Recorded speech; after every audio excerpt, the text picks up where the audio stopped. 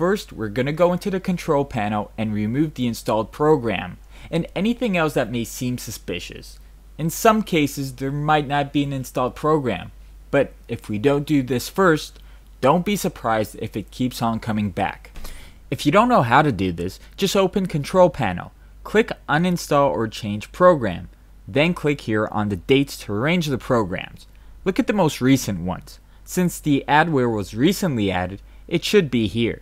But I gotta warn you, viruses have gotten smarter with time. So now you may even encounter some that provide a backdate or are installed under different names. So definitely look around and uninstall everything you don't remember adding. Now you need to enter safe mode.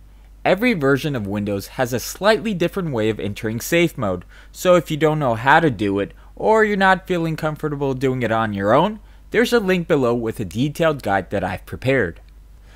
We'll fast forward this part for you.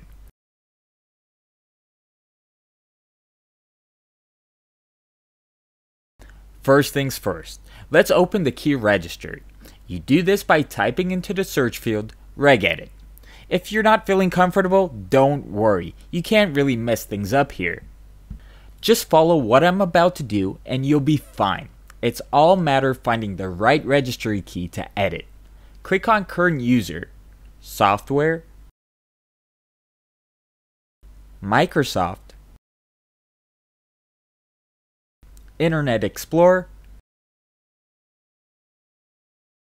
main,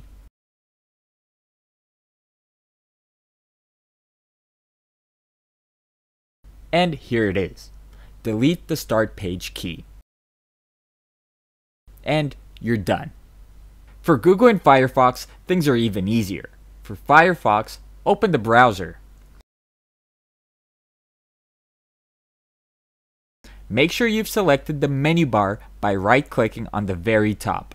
On the History drop-down, click on Clear Recent History. Choose Everything. Make sure you've checked all the boxes available. Now we'll reset the browser. Choose Troubleshooting Information and Refresh Browser.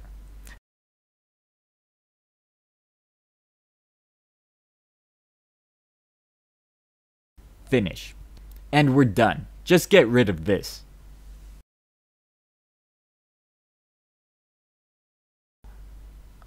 Now for Chrome. Open the application, doesn't matter from where. Under the menu button, click on Settings.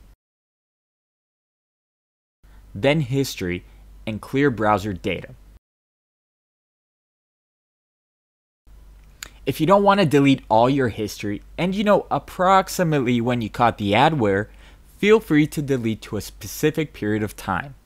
Simply check all the boxes except passwords, and then clear browser data.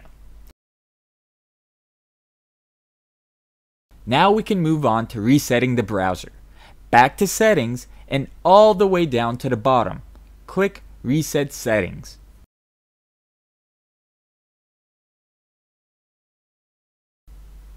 We want to make sure there aren't any leftovers in our browser extensions. So we'll start off with Firefox.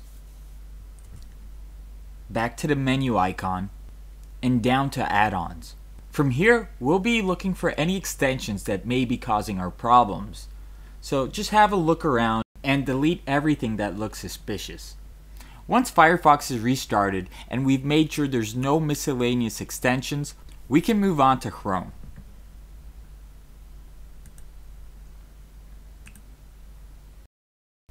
From the menu button into Settings, click over Extensions, and again, we're looking for anything suspicious that we need to delete. Click Remove and we're done. All we have to do now is restart the computer and make sure that we got rid of the adware.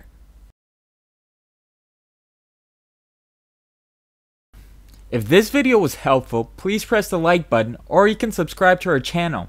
And if say you still had trouble, write to us on our Google Plus profile and we'll assist you with any problems. We've prepared for you a short and sweet optimization guide specifically designed for users who have just removed a virus. It's completely free and you don't need to download anything. If you're interested, you can check us out here.